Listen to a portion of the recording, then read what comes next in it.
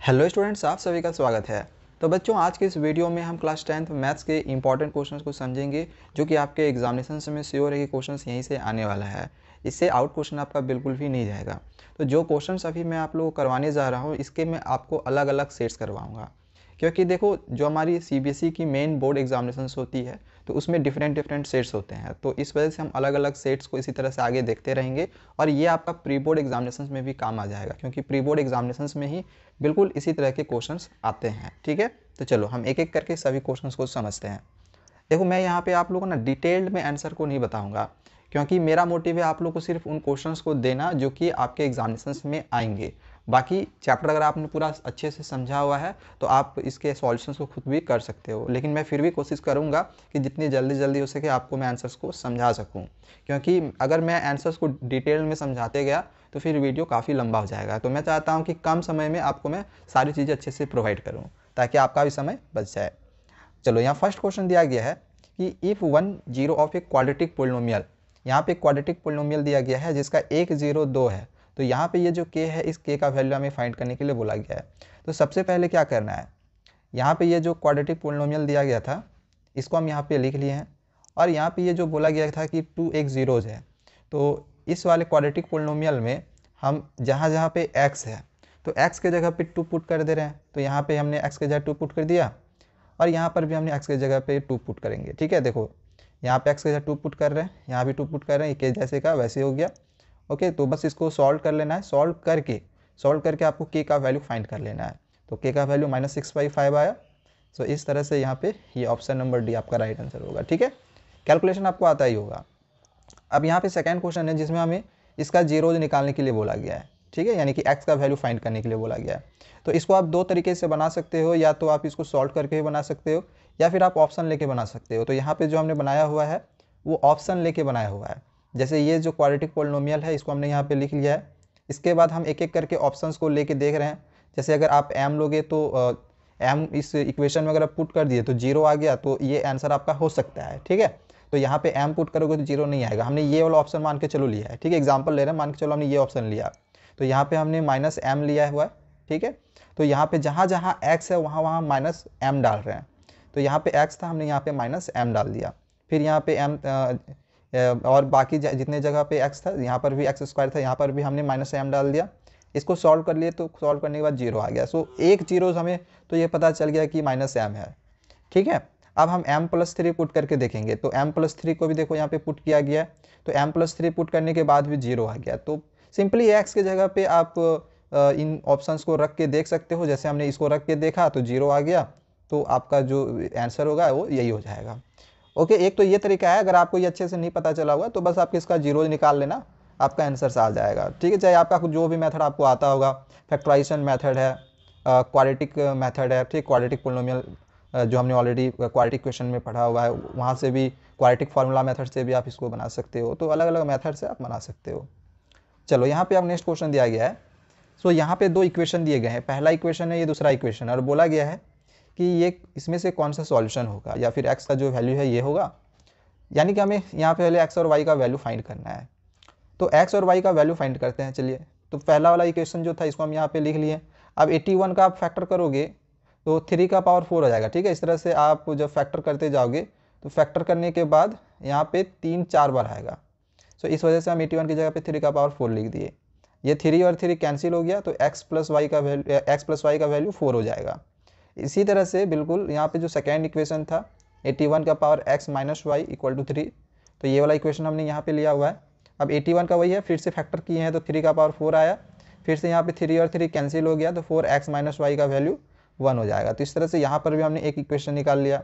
अब क्या करना है? ये वाला जो इक्वेशन निकालें और ये वाला जो इक्वेशन निकालें।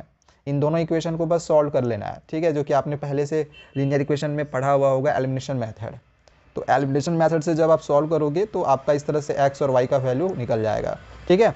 और बच्चों को अगर कहीं पर भी ज़्यादा दिक्कत हुआ, कोई क्वेश्चन ज़्यादा अच्छे समझ में नहीं आया तो अगर ज़्यादातर बच्चों का किसी एक पर्टिकुलर क्वेश्चन पे कमेंट आया तो मैं उस क्वेश्चन को अच्छे से किसी वीडियो में ज़रूर समझाऊँगा, ठीक है? तो कमेंट करते रहना जो समझ में नहीं आएगा। ओके चलो। अब यहाँ पे बोला गया ये जो के यहाँ पे आप लोग को इसमें दिखाई दे रहा है, इस के का वैल्यू फाइंड करना है और बोल दिया गया है कि ये नो सॉल्यूशन है। ओके तो चलो यहाँ पे हम लोग सबसे पहले a a one b one c one और a two b two c two निकालते हैं। तो यहाँ पे हमने सबसे पहले ए ए वन का वैल्यू निकाला। ए वन बाई यहाँ पर देखो ना आ, देखा जाए तो यहाँ पे थोड़ा सा मिस्टेक हुई है। मिस्टेक क्या हुई है कि इसमें A one by A two होगा तो यहाँ पे A one by A one हुआ है। तो इसको थोड़ा सा सुधार लेना A one by A two कर लेना क्योंकि ए वन का वैल्यू एक्स का कॉफिशेंट वन है और ए टू का वैल्यू एक्स का कॉफिशेंट टू है। बट यहाँ पे ए वन लिख दिया था तो यहाँ आप सुधार लेना। इसी तरह से b one by b two निकाल लिया गया c one by c two निकाल लिया गया तो सबसे पहले आप लोग इसी तरह करना है a one by a two b one by b two और c one by c two ये निकाल लेना उसके बाद देख लेना कि यहाँ पे जो वैल्यूज़ निकले हैं जैसे वन बाई ए टू का वैल्यू वन बाई टू निकला b one by b two का वैल्यू वन बाई के निकला और c one by c two का वैल्यू फोर बाई के निकला तो नो सॉल्यूशन बोला गया था क्वेश्चन में तो नो सॉल्यूशन के लिए क्या होता है तो a one by a two by a one by a two equal to b one by b two not equal to c one by c two होता है यही होता है तो a one by a two के जगह पे हमने यहाँ पे वन बाई टू पुट कर दिया। B one by b two के जगह पे इसका वैल्यू जो था वो पुट कर दिए और c one by c two के जगह पे ये वैल्यू पुट कर दिए। इसको बस सॉल्व करना है। पहले अगर हम इन दोनों को लेंगे तो के का वैल्यू टू निकल जाएगा, फिर इन दोनों को लेंगे तो के का वैल्यू थ्री बाई फोर निकल जाएगा। ठीक है? चलो, ये हो गया। अब यहाँ पे एक बहुत ही अच्छा सा क्वेश्चन दिया गया है सर्टेशन रीजन का। बोला गया है कि ये जो एक इक्वेशन दिया गया है, ये रिपीटेड रूट्स है। रिपीटेड रूट्स कहने का मतलब है इक्वल रूट याद रखना कहीं कहीं ना। कंफ्यूज करने के लिए ऐसा दे देता है क्वेश्चन में कि रिपीटेड के इक्वल के जगह पे रिपीटेड दे देगा। तो इक्वल और रिपीटेड एक ही चीज़ है, याद रखना इसको, ठीक है? तो बोला गया है कि ये रिपीटेड रूट्स है। तो सबसे पहले क्या करो कि इसका अगर आप रूट्स निकाल के देख लो, क्या ये इक्वल रूट्स निकल रहा है कि नहीं? तो कैसे पता चलेगा? तो डी का वैल्यू अगर ज़ीरो आ गया तो इक्वल रूट होगा अदरवाइज़ नहीं होगा। तो यहाँ पे देखो हमने डी निकाला हुआ है, जिसका formula b square minus four a c होता है। तो यहाँ से डी का वैल्यू हमने ज़ीरो निकाल लिया। तो ये तो पता चल गया। कि जो एसर्टेशन है वो बिल्कुल सही है रिपीटेड रूट्स है। अब बोला गया है कि ये जो क्वालिटी इक्वेशन होता है ये रिपीटेड रूट्स होता है अगर डिस्क्रिमिनांट डी ज़ीरो से बड़ा हो तो डी ज़ीरो से बड़ा होता है तो ये रिपीटेड रूट्स थोड़ी होता है। ये तो आपका फिर रियल एंड अनइक्वल हो जाता है। ठीक है ना? मतलब अनइक्वल रूट्स होता है इक्वल रूट्स नहीं होता है। तो ये एसर्टेशन जो रीज़न एसर्टेशन सही है बट इसका जो रीज़न दिया हुआ है वो गलत है। सो so, इसका राइट right आंसर क्या होगा? यहाँ पे देख लो। कि assertion is true but reason is false option c वाला हो जाएगा। ओके देखो यहाँ पे दिया ना। Option c is correct option चलो नेक्स्ट क्वेश्चन पे आते हैं।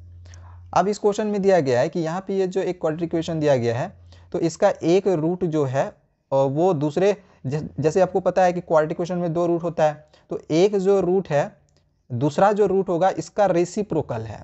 तो इसका रेसिप्रोकल क्या हो जाएगा? जैसे अल्फ़ा वाई वन है तो अल्फ़ा वाई वन का रेसिप्रोकल वन बाई अल्फ़ा अब प्रोडक्ट ऑफ़ द रूट्स करते हो यानी दोनों को मल्टीप्लाई करते हो तो इसका फॉर्मूला क्या होता है? प्रोडक्ट ऑफ़ द रूट्स का सी बाई ए तो अल्फ़ा अल्फ़ा कैंसिल तो सी बाई ए हो जाएगा यानी कि जो आंसर आ जाएगा वो क्या निकल जाएगा? A is equal to c तो इसका राइट आंसर ये हो जाएगा। बिल्कुल इसी तरह से यहाँ पे बनाया हुआ है। चलो यहाँ पे अब इस क्वेश्चन को देखते हैं। सो so, इस क्वेश्चन में दिया गया है कि the first term of A P is p पहला टर्म दे दिया गया है पी तो यहाँ पे हमने लिख लिए। कॉमन डिफरेंस यहाँ पे दिया गया है क्यू तो हमें फाइंड करने बोला गया है टेंथ टर्म बहुत से आसान है। डायरेक्टली हम लोग ए टेन का फॉर्मूला लिख सकते हैं। A is equal to sorry a n is equal to या फिर टेन है तो a ten is equal to a plus n minus one into d n के जगह पे टेन है तो ten minus one into d बाकी ए और डी का तो वैल्यू यहाँ पे अभी हम देख चुके हैं। दोनों का वैल्यू यहाँ पे बस पुट कर देना। पुट करके जो आएगा आंसर निकाल देना सॉल्व करके। ओके अब यहाँ पे दिया गया है एक इक्वेशन यानी a eighteen minus a fourteen का वैल्यू दिया गया है थर्टी टू तो इसमें जो हमें है वो कॉमन डिफरेंस निकालना है, यानी डी का वैल्यू फाइंड करना है। तो ए एटीन ए एटीन कहने का क्या मतलब हो गया? देखो, अगर ए एटीन बोला जा रहा है तो इसको याद रखो ए प्लस सेवनटीन डी लिखना मतलब एक कम करके लिखना है डी के साथ। ओके, जैसे अगर बोला जाएगा ए सेवनटीन तो a plus sixteen d okay, इस तरह से। तो यहाँ पे ए एटीन लिखा हुआ है तो ए एटीन की जगह अब देखो ए प्लस सेवनटीन डी हो गया फिर माइनस है यहाँ पे हमने माइनस का साइन दे दिया। और ए फोर्टीन ए फोर्टीन मतलब ए प्लस थर्टीन डी तो ए प्लस सॉरी हाँ a plus thirteen d a plus thirteen d but यहाँ पे क्या होता कि माइनस भी था ना तो ब्रैकेट के अंदर रहता जैसे यहाँ माइनस है। और यहाँ पे आया ए प्लस थर्टीन डी तो, तो ये माइनस ए हुआ फिर माइनस प्लस फिर माइनस थर्टीन डी होगा इस वजह से यह माइनस हुआ। ठीक है यहाँ पे देखो इसी वजह से यहाँ पे ये माइनस का साइन लग गया है। बस इसको सॉल्व कर लेना सॉल्व करके आपका डी का वैल्यू आसानी से निकल जाएगा, कोई दिक्कत नहीं होगा, ठीक है? बाकी अगर नहीं समझ में आया होगा तो अच्छे से मैं आप लोग समझाऊँगा। ज़्यादातर स्टूडेंट अगर किसी पर्टिकुलर क्वेश्चन पे कमेंट आएँगे, मैं श्योर आपको आगे के वीडियोज़ में ज़रूर समझाऊँगा। अब आगे क्वेश्चन नंबर नाइन यहाँ पे दिया गया है कि दो पोल है, जिसमें से एक पोल का जो हाइट है, वो छः मीटर है, और दूसरे पोल का जो हाइट है, वो ग्यारह मीटर है। तो यहाँ पे सबसे पहले दो पोल हमने बना लिया। ये पहला पोल था, जिसका हाइट छः मीटर था और ये दूसरा पोल है, बड़ा वाला, जिसका हाइट ग्यारह मीटर है। अब आगे यहाँ पे क्वेश्चन बोला जा रहा है कि if the distance between their foot is twelve metre अब इन दोनों पोल का जो फुट था, इन दोनों पोल का जो फुट था, इन फुट का जो डिस्टेंस है, वो ट्वेल्व मीटर है। तो क्वेश्चन में यहाँ पे बोला जा रहा है कि then distance between their top is तो इसके टॉप का डिस्टेंस क्या होगा? यानी कि यहाँ से यहाँ तक का डिस्टेंस क्या होगा? तो देखो सिंपल है फिगर हमने ऑलरेडी बना रखा है। यहाँ से यहाँ तक का वैल्यू एसी का वैल्यू अगर ट्वेल्व है तो ये और ये साइड बराबर होता है क्योंकि ये रेक्टेंगल हो गया। तो ये अगर ट्वेल्व है तो ये भी ट्वेल्व हो जाएगा बी ई का वैल्यू और यहाँ से यहाँ तक अगर छः है तो यहाँ से यहाँ तक का भी वैल्यू सिक्स हो जाएगा। सो यहाँ से यहाँ तक का वैल्यू हमने सिक्स लिख लिया। ओके अब पूरा जो ये पोल था, इसकी वैल्यू कितनी थी? ग्यारह। तो अलेवन में अगर हम इस सिक्स को घटा देंगे तो फाइव मीटर निकल जाएगा। सो यहाँ से यहाँ तक का वैल्यू हमने फाइव मीटर निकाल लिया। हमें निकालना था यहाँ से यहाँ तक का वैल्यू तो पाइथागोरस थ्योरम से हम निकाल सकते हैं। यहाँ पे 90 डिग्री बन रहा है। तो b d is equal to directly लिखेंगे कि b e square plus d e square इस तरह से हम लोग डायरेक्ट कर सकते हैं। B e square plus d e square इसका सॉल्यूशन भी आप यहाँ पे देख सकते हो। आप चाहो तो इस तरह से सॉल्यूशन पूरा करके भी निकाल सकते हो। तो इसका स्क्वायर करेंगे तो 144 होगा प्लस फाइव का स्क्वायर करेंगे 25 होगा। दोनों को जोड़ेंगे 169 आ जाएगा। देखो आ गया है। और 169 13 का स्क्वायर रूट होता है। थर्टीन आंसर हो गया। ठीक है? चलो नेक्स्ट क्वेश्चन को समझते हैं आप। अब यहाँ पे दो कॉर्ड दिए गए हैं ए बी और सी डी यहाँ पे आप फिगर देख लो। इसमें ए बी और सी डी दो कॉर्ड है। अब कहा जा रहा है कि ये दोनों जो कॉर्ड है, वो ई e पे इंटरसेक्ट कर रहा है, यानी कि यहाँ पे ये ई e पे इंटरसेक्ट किया। जिसमें ए ई का वैल्यू दिया है बी का वैल्यू दिया है और सी का वैल्यू दिया है। तो जो लेंथ डी ई है, इसका वैल्यू हमें फाइंड करने के लिए बोला गया है। लेंथ डी ई का वैल्यू हमें फाइंड करने के लिए बोला गया है। तो देखो, इसके लिए एक रूल याद रखना। इसके लिए रूल क्या है? तो ए ई e को अगर हम ई वी से मल्टीप्लाई किए गए यानी कि यहाँ से यहाँ तक अगर हम मल्टीप्लाई किए तो सी ई और ई डी भी इस तरह से इन दोनों के मल्टीप्लाई के इक्वल हो जाता है। अब यहाँ पे जो जो वैल्यूज़ दिए गए थे, इन वैल्यूज़ को पुट कर लेना है। जैसे ए ई का बी का और सी का। ए ई बी सी इन तीनों का वैल्यू पुट करेंगे ए ई फिर इसके बाद बी और सी इन तीनों का वैल्यू हमने यहाँ पे पुट कर लिया। इन दोनों को मल्टीप्लाई करके फिर 1.6 से काट देंगे। मतलब सिंपली सॉल्व कर लेना ए का वैल्यू आपका निकल जाएगा। ठीक है 4.8 अब चलो यहाँ पे एक ट्रिगोनोमेट्री का क्वेश्चन दिया हुआ है काफ़ी अच्छा क्वेश्चन है इसको समझते हैं। सो so, यहाँ पे कॉस नाइन अल्फ़ा का वैल्यू दिया गया है साइन अल्फ़ा ओके तो हमें यहाँ पे बोला गया है कि टेन फाइव अल्फ़ा का वैल्यू क्या होगा? तो सबसे पहले जो गिवियन यहाँ पे दिया गया था ना इसको हमने यहाँ पे लिख लिया है कि cos nine alpha is equal to sine alpha अब देखो, आपने कॉम्प्लीमेंट्री एंगल का एक फॉर्मूला पढ़ा होगा कि साइन 90 डिग्री माइनस थीटा बराबर होता है कॉस थीटा ओके तो इसके जगह पे हमने साइन 90 डिग्री माइनस थीटा यानी थीटा की जगह पे नाइन अल्फ़ा है तो नाइन अल्फ़ा लिख लिए। अब देखो, बहुत सारे बच्चे ऐसा बोल भी सकते हैं कि, सर, ये हमारे सिलेबस से हटाया गया है बट नहीं।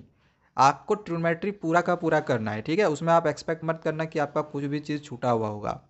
एग्जामिनेशन में क्वेश्चन आने का हाई चांसेस है और खास करके प्री बोर्ड एग्जामिनेशन में। प्री बोर्ड में तो बिल्कुल समझ लो कि ये क्वेश्चन आपका एग्जामिनेशन में आ ही रहा है। मेन बोर्ड एग्जामिनेशन में भी आ सकता है, ठीक है? तो ट्रिग्नोमेट्री से आपका सोच सोच लो, ऐसा सोचो ना कि कुछ भी डिलीटेड नहीं है ओके चलो, अब इस क्वेश्चन को आगे हम यहाँ पे देख लेते हैं। सो यहाँ तक समझ में आ गया होगा कि sine ninety degree minus theta बराबर कॉस थीटा होता है थीटा की जहाँ पे यहाँ पे नाइन अल्फ़ा हम लिए हुए हैं। अब ये साइन साइन कैंसिल हो गया। अब यहाँ से हम सॉल्व करके हम अल्फ़ा का वैल्यू फाइंड कर लेंगे। अल्फ़ा का वैल्यू आ गया नाइन अब जो हमें फाइंड करने के लिए बोला गया था टेन फाइव अल्फ़ा तो अल्फ़ा की जगह पे बस फाइव अल्फ़ा का वैल्यू निकाल चुके हैं। तो फाइव नाइन जा फोर्टी फाइव हो यानी टेन फोर्टी फाइव तो टेन फोर्टी फाइव का वैल्यू कितना होता है? वन तो आपका आंसर निकल गया टेन फाइव अल्फ़ा का। अब चलिए आगे क्वेश्चन नंबर ट्वेल्व को सीखते हैं बनाने के लिए। सो क्वेश्चन नंबर ट्वेल्व में यहाँ पे दिया गया है कि the ratio of the length of a rod and its shadow is one is to root three then the angle of elevation of the sun is यानी कि देखो क्वेश्चन में क्या दिया गया है कि सपोज़ करो कि ये एक रड है तो इस रड का लेंथ और इस रड का ना एक सैडो भी बन रहा है।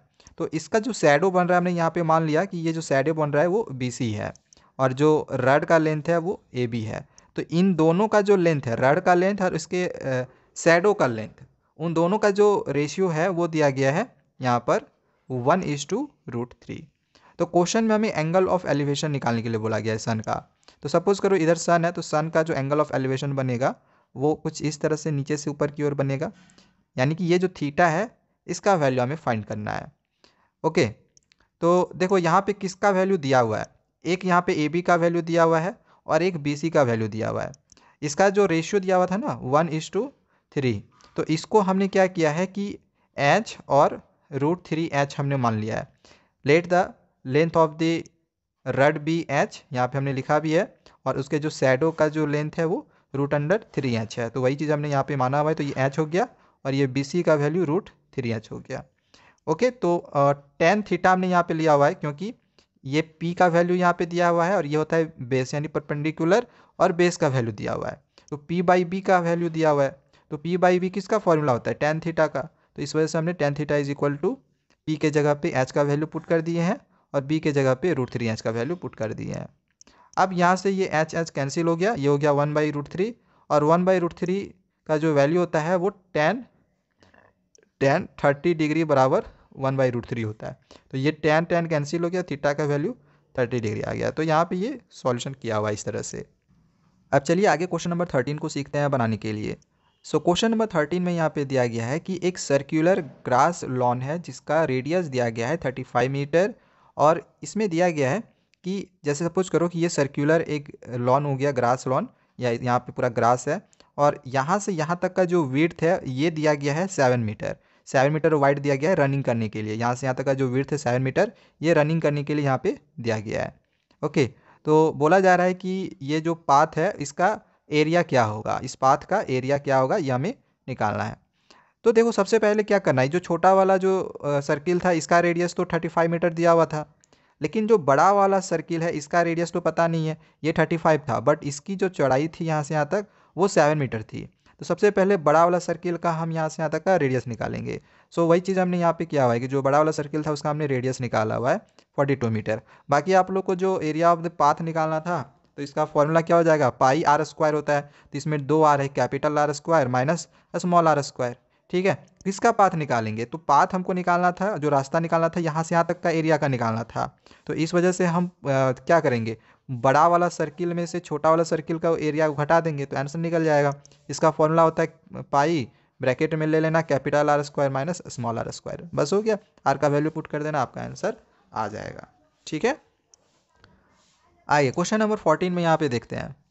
If the parameter of one face of a cube is twenty centimetre then it surface area is. देखो, एक फेस जो क्यूब का एक फेस है, उसका पैरामीटर यहाँ पे दिया गया है। जैसे क्यूब होता है ना, इस तरह से तो इस क्यूब का सपोज़ करो कि जो एक फेस है, सपोज़ करो ये वाला जो फेस है, इसका जो पैरामीटर है, वो दिया गया है ट्वेंटी सेंटीमीटर। तो सरफेस एरिया उसका क्या होगा? तो सबसे पहले हम क्या करेंगे कि जो साइड होगा, उस साइड का वैल्यू फाइंड करेंगे, यानी एज का वैल्यू फाइंड करेंगे। तो ए का वैल्यू हम यहाँ पे फाइंड कर रहे हैं, एज जो साइड साइड का हम वैल्यू फाइंड कर रहे हैं। तो जो पैरामीटर दिया गया था ट्वेंटी सेंटीमीटर इसको हम फोर से काट लेंगे क्योंकि चार साइड होता है। इस तरह करके आ, किसी एक फेस को अगर हम लेते हैं तो किसी एक फेस में टोटल कितने साइड होंगे? चार साइड होंगे। तो इस वजह से फॉर्मूला क्या हो जाएगा? Four is equal to twenty four is equal to twenty तो ए का वैल्यू ट्वेंटी बाई फोर काटेंगे तो फाइव निकलेगा। तो वही चीज़ यहाँ पे किया हुआ है। सबसे पहले ए का वैल्यू फाइंड कर लिया गया। बाकी सरफेस एरिया निकालना है। सरफेस एरिया का फॉर्मूला सिक्स ए स्क्वायर होता है। ए का वैल्यू तो हम निकाल चुके हैं पुट कर देंगे आंसर निकल जाएगा। ठीक है? चलो, अब यहाँ पे क्वेश्चन दिया गया है। तो यहाँ पे सबसे पहले तो हमें जो अपर लिमिट है, वो फाइंड करने के लिए बोला गया है मीडियन क्लास का। मीडियन क्लास का हमें अपर वैल्यू फाइंड करने के लिए बोला गया है। तो मीडियन क्लास का अपर वैल्यू फाइंड करने के लिए सबसे पहले ना हमें कम्युलेटिव फ्रीक्वेंसी निकालना पड़ता है। तो यहाँ पे जो दिए गए थे डेटा इसको हमने इस तरह से लिख लिया है। ठीक है कम्युलेटिव फ्रीक्वेंसी कैसे निकालते हैं? तो ये फिफ्टीन जैसे का वैसे हो गया। अब हम इन दोनों को जोड़ेंगे ट्वेंटी एट होगा। ठीक है? अब या तो आप इन दोनों को जोड़ सकते हो, या फिर आप इन दोनों को जोड़ सकते हो, ओके? तो इन दोनों को जोड़ दिए ट्वेंटी एट हो गया। फिर या तो आप इन दोनों को जोड़ सकते हो, या फिर इन तीनों को आप जोड़ सकते हो तो थर्टी एट हो जाएगा। फिर इन दोनों को भी आप जोड़ के फोर्टी एक्स ला सकते हो, या फिर इन सबको भी जोड़ोगे तो फोर्टी सिक्स ही आएगा। ठीक है? इसी तरह से आपको इस तरह इस तरह करके जोड़ते जाना, या फिर आपको इस तरह करके जोड़ते जाना है। जैसे आपको जोड़ना सही लगेगा। ज़्यादा अच्छा रहेगा कि आप ऐसे ऐसे करके जोड़ो, ये आपके लिए ज़्यादा बेटर होगा। आपको इसमें ज़्यादा जोड़ना नहीं पड़ेगा। ठीक है, इस तरह से लास्ट में कितना आया? सिक्सटी थ्री तो हमें निकालना क्या था? हमें निकालना था मीडियन क्लास किसका निकालना था? मीडियन क्लास सॉरी हमें निकालना था अपर लिमिट मीडियन क्लास का। तो पहले हमें मीडियन क्लास निकालना पड़ेगा। कौन सा मीडियन क्लास होगा? तो मीडियन क्लास निकालने के लिए सबसे पहले हमें एन बाई टू निकालना पड़ता है। ठीक है तो हमने यहाँ पे जो एन का वैल्यू निकाला हुआ है सिक्सटी थ्री इसका हाफ़ कर देंगे तो एन बाई टू निकल जाएगा, लगभग आएगा थर्टी वन पॉइंट फाइव अब यहाँ से देखो थर्टी वन पॉइंट फाइव किसके बाद आ रहा है? तो ट्वेंटी एट के बाद आ रहा है thirty one point five. So इस वजह से हम लोग का जो मीडियन क्लास होगा, वो ये वाला आ जाएगा। ठीक है? One sixty two one sixty five ये जो आएगा, ये आपका मीडियन क्लास आएगा। अब बाकी रह गया कि इसका अपर लिमिट क्या होगा? तो अपर लिमिट ये होता है लोअर लिमिट अपर लिमिट ये होता है लोअर लिमिट याद रखना, इसको बोलते हैं हम लोग अपर लिमिट इसको बोलते हैं लोअर लिमिट तो अपर लिमिट 165 है सो आपका ये राइट आंसर हो जाएगा 165 ठीक है? समझ में आ गया होगा? अब चलिए आगे हम क्वेश्चन नंबर 16 को सीखते हैं बनाने के लिए।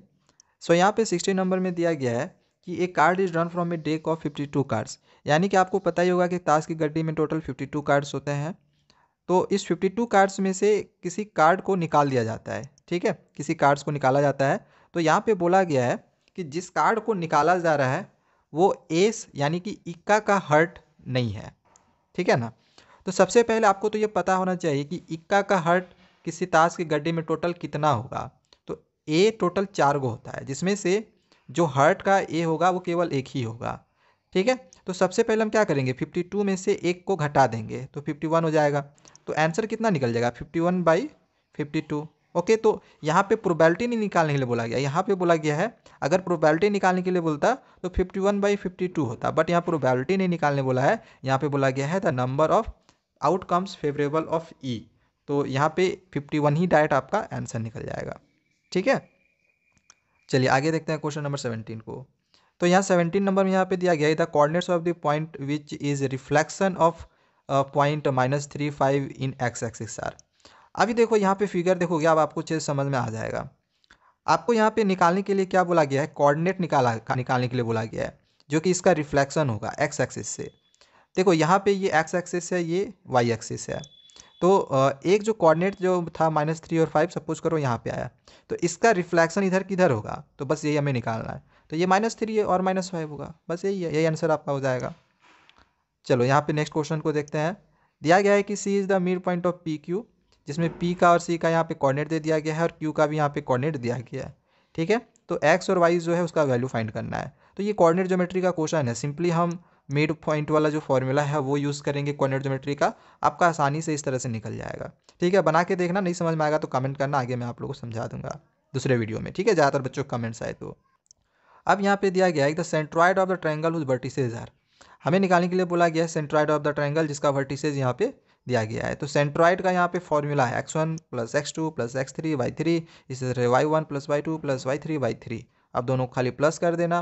प्लस कर लेने के बाद काट देना थ्री से, जो भी आएगा वही आपका आंसर हो जाएगा, यानी ज़ीरो थ्री यही कोऑर्डिनेट होगा।